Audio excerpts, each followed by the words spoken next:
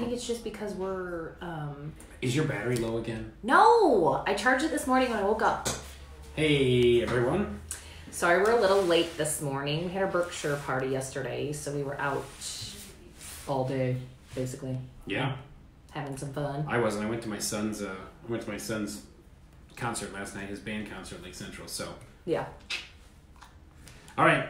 Our screen's dark, so I don't know. It's weird.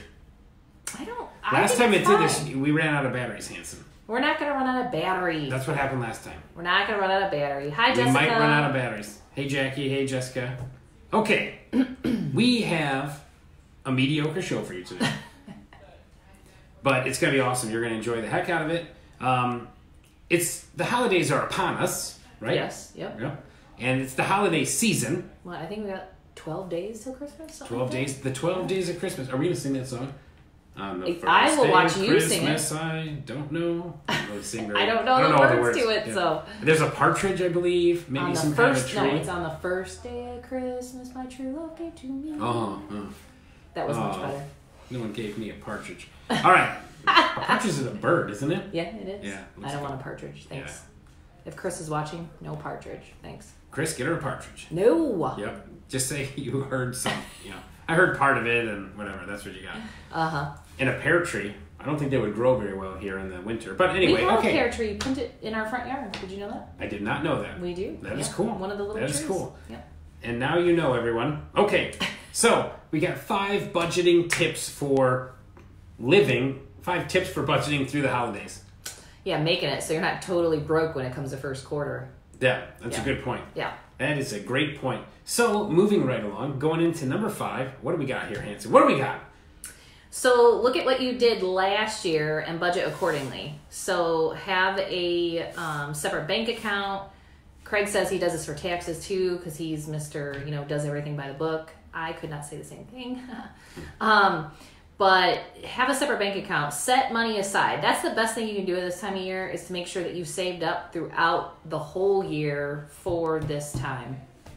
Yeah, that's a good. And I think the separate bank account is a good technique to basically automate it so you don't think about it. So you can take your, like my bank account, I can set automatic disbursements from one account, like my checking or whatever, into a savings. I can do all that stuff. Yeah. Uh, and I'm sure you can too. Um, so look into that. But when you do it, when you when it's out of mind like that, and out of sight, you're not going to spend it. If it's in a separate account, especially I recommend using a savings account you do not have like a debit card for. Yes. That helps. I think that's the best is where you can put money into it, but it's not easily, you can't get money back out of it super easy. Yep. Excellent. So that is a great tip. That was number five. Moving forward to number four. This one's this one's cool too. Prepay some expenses. Um, you could prepay things like you could buy. You can get a credit with like Facebook for Facebook ads. Other fixed costs that you have. Um, lead sources. Some of those you can do. And here's another thing: if they don't allow you to prepay them, sometimes you can get um, gift cards and stuff like that. So then you kind of budgeted that. I know I'm gonna spend around 100 bucks in Facebook ads this month. You know, I'll just get a Facebook. You can get those, um, you know, gift cards or whatever. Or you Facebook can just. gift cards, really? I thought they have gift cards. No. I don't know if that's true. Fact check that. Someone. We can we can hardly read any of the. Uh, I think it's because I have it on uh, battery saver mode. Now that I think about that, because the screen was all the way bright, so we would have had to fix that. I'm real sorry. professional show we got here, folks. It is always. I'll pre-apologize for the and lack of uh, technological stuff that Nicole has. technologically efficient. All right, so prepay some stuff. Yeah, I think that's a good idea. Um, I, you definitely can put credits into like your pay per click or anything like that, um, so that it takes it out of your account and it's our, it's just sitting there and moves some money around. So it's already prepaid by the time you're like, man, I've got like five bucks left in my bank account. Not that any of us would ever do that at this time of year. Ryan said you have your haircut looks great. Carol said good morning, and then thanks. Craig Pace said Thanks, they, Facebook does have gift, gift cards. Thank you, thank you, thank you, Craig. All right, so that's good. Prepay some stuff, then you're good to go. Okay, number three. Don't feel obligated to buy stuff or sign on with new vendors. That is a good thing. If you've been doing this a while, you're going to know that towards the end of the year, there's a lot of companies, the website companies, insurance companies. They're going to do like their end of year push to try to drive more business and stuff like that. So they're going to, everyone's going to be calling you trying to get some of that Christmas money. Yeah, I mean, or it- holiday money if you don't celebrate you know, Christmas. you're like, oh, it's five hundred bucks. That's not so bad. But then over the first quarter, that's like two thousand dollars. December, January, February, March, right? So you could be using that two thousand dollars to pay your own bills or do something else. I always recommend vetting these companies because they'll call, give you that big sales push. It sounds like the best thing ever. You know, and do some self inflection. Are you actually going to follow up? Are you going to use their program? Are you going to log into the system? Are you going to do whatever they're telling you to do to make money? If not, the answer is don't buy it. I would say this too as a tip: the website ones are the worst, like because they call all the time, and it's like most of the time you already have a website, you know. And I love the ones where they call you and they say your website sucks, but I can help you, and it's like what? Like okay, good sales pitch, buddy. We found your website, but okay, Yeah. well, if you found it, Yeah, I always say, you know what? Just email me and I'll go because they always Yes. say, "Do you got 15 minutes to go over it right now?" I said, "No." And they said, "Well, you know, when would be a good time?" I said, "Never." And then uh, they're like, "Well, why not?" And I said, "Well, I go, do you guys have a schedule where you have to make so many calls during this time?" He said, "Yeah." I go, "Well, I have a schedule too, so I can't talk to you right now." click. I said, "Email me. I'll look at it and I'll probably reject you, but at least I'll do it nicely." I mean, there are some good things out there, right? And they can help you plug holes in your business. But if you don't know what it is, you don't know how it works, um, and you haven't done research on it ahead of time, and it's not something you're looking to fill your portfolio with, there's pause at this time of year. Sorry, I got a phone call. Tom Gubbins is watching. What's up, Tom? Hey, Tom, what's going on? That's one of my brother's great friends. He's a good dude. Grew up in the same neighborhood. All right. So, are we done with number three? I think so. Yep. We're done with it. So number two, this one, this one's funny. Nobody's Skip gonna that- like this one. Nobody's gonna like this one. that fancy caramel latte, grande, mocha, smoka, frappa, joca coffee. All right, get yourself a K cup.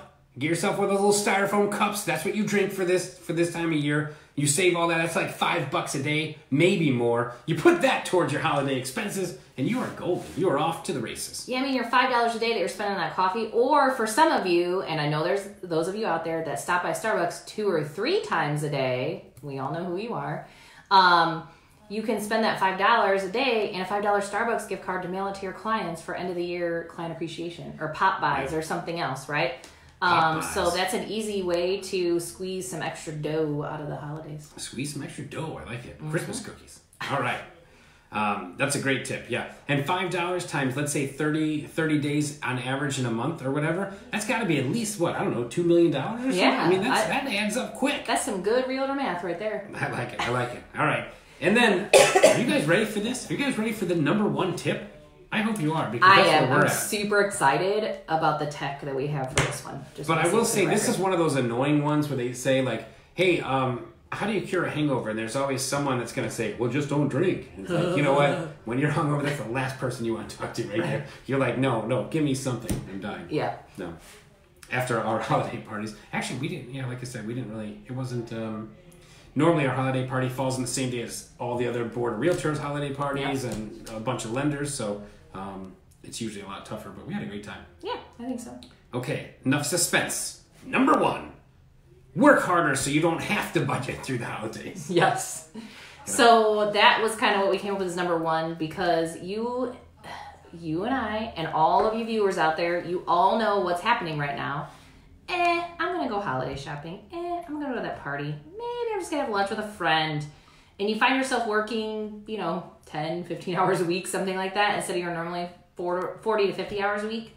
If you just kept that pace up and worked your regular hours, you'd probably be just fine through the holidays. Yeah, I think so. I think so. Um, I think a lot of people don't put in enough. I mean, there's we all know that there's agents out there right now that are doing fantastic. This there's an agent out there right now that this December is their best month of their career. Yeah, yeah. So if if they can do it, so can you. And we all get to, you know we're all equal. We all get 24 hours a day to do with what we need to or whatever we, we choose to do really. Yeah. And sometimes you know if you're if you're fair and you put in an honest day's work and stuff like that for whatever you consider that, um, you know you'll be fine. I think a lot of us you know sometimes get a little holiday lazy a little bit sometimes. No. Yeah, a little bit. Yeah. Yeah, yeah. I'm even feeling it this year, and I have to say, I never feel that. So Yeah. it's kind of different. I don't know why. I don't, but I'm kind of a workaholic, so I kind of like to work. I normally am too, Yeah. but I'm telling you, it, it's kind of, I'm kind of not feeling it this year. All right. Well, that's harder. it. You heard it here, hold on, folks. Hold on. Gotta make those dollar bills, y'all. Did you see them? hold on. We forgot to do. Hold on. There we go. That was the tech thing again. You know- that was our funny for Yeah, the day. here's our here's our fun. We're making it rain. Uh-huh. I like I like how Nicole's are all singles and mine are all hundreds. Oh, I God. told, He I told her not to. Yeah, I told her not to not to mix any of hers up with mine. I'm gonna mix all mine up with his. Is all I have to say. Ben Franklin doesn't like to hang out with George Washington. all right. Anyway, thank you guys for watching. Happy holidays and all that kind of great stuff. And we will see you Next Friday. next Friday. You can also look us up on YouTube and look at all the Nicole and Craig shows on there. But I think you have to go. You have to search my name. I have to log in and change the YouTube channel. You have to be able to change it. Okay, great show.